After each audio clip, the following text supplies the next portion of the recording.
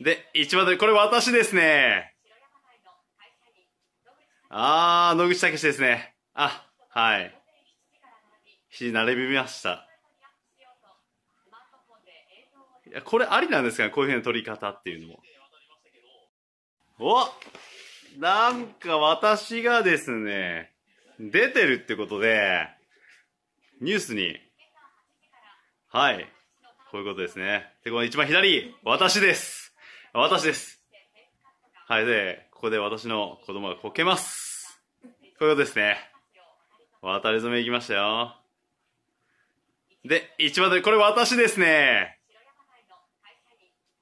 あー、野口武史ですね。あ、はい。7時並びました。いや、これありなんですかねこういうふうな撮り方っていうのも。いや、ほんとね、かっこいいんですよ、これ。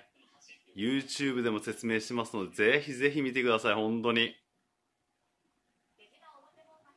いや、今回は、えー、こういった形で出させていただきましたけれども、えー実際ですね、この出島の中、本当にですね、あの、リアル、えー大人が作ったフィギュアみたいになってて、中身もめちゃくちゃ本当に面白いので、ぜひぜひ行ってください。お金払う価値がかなりありますんで、はい。ぜひ、おすすめでーす。夜間のライトアップ、これも行かなきゃ。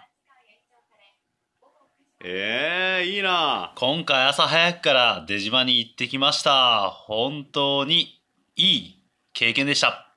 130年ぶりの橋ですので、これはですね、記念になります。